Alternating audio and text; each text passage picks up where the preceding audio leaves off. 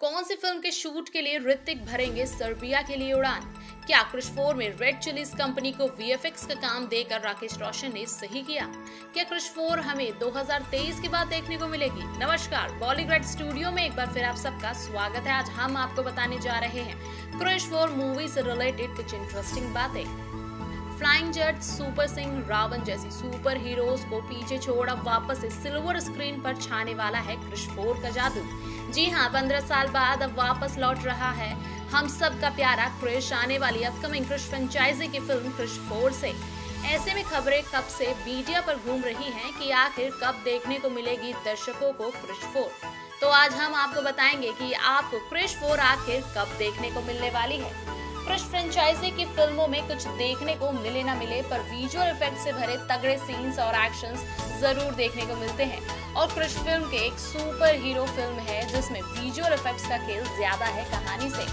ऐसे में जहाँ अभी तक क्रिश फ्रेंचाइजी की फ़िल्मों में वीएफएक्स का काम इंडियन फर्म प्रसाद ईएफएक्स की टीम जिसमें 100 से अधिक स्पेशलिस्ट के साथ काम किया था मार्क पॉल और क्रेग मुम्मा ने विजुअल इफेक्ट्स पर। पर आने वाली क्रिश फोर में इस बार दिखेगा शाहरुख खान की B F X company Red Chillies का विजुअल तड़का शाहरुख की Red Chillies B F X company 2005 में बनी, जिसने आने के बाद काफ़ी बेहतरीन फ़िल्मों में अपने वीएफएक्स का जलवा दिखाया है, जिसमें 2006 में आई डॉन द चेज बिगिन, जिसके लिए रेड चिलीज वीएफएक्स कंपनी ने यूरोप कंट्री की तरफ़ से बेस्ट स्पेशल इफेक्ट्स का खिताब अपने नाम किया।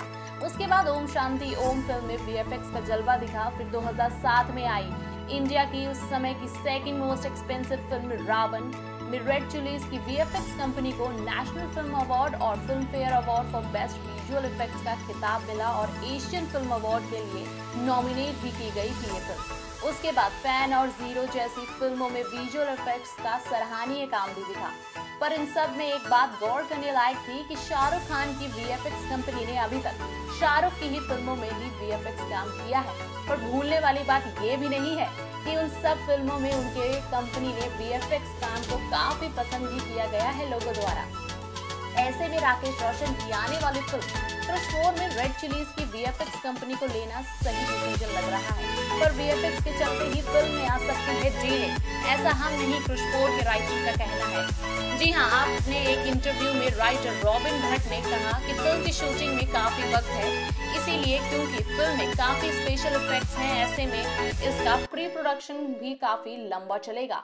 करीबन एक साल तक टेक्निकल काम बहुत है, उसे ही पूरा करते करते काफ़ी वक्त जाएगा। अब कितना जाएगा, इसका अंदाज़ा अभी नहीं है। पर हाँ फ़िल्म की शूटिंग शुरू होने में 2022 या 2023 तक का वक्त लग जाएगा। ऐसा तो अब हमें लग रहा है क्रिश फोर के आने में तो काफ़ी समय है। वहीं ऋतिक अपनी एक और आने वाली फ़िल्म विक्रम बेताल की रीमेक के शूट के लिए जल्द ही सर्बिया के लिए उड़ान भरते नज़र आएँगे सैफ अली खान संग। अब देखना है कि इतने एक के बाद एक फ़िल्मों के बीच कब शुरू होती है क्रिश फोर की शूटिंग तब तक के लिए आप हमें कमेंट बॉक्स में बताएँ कि आपको रेड चिलीज की वीएफएक्स कंपनी का काम कैसा लगा है। और इसके साथ ही हमारे वीडियो को लाइक करें शेयर करें और चैनल को सब्सक्राइब करना ना भूलें। और देखते रहिए बॉलीवुड स्टूडियो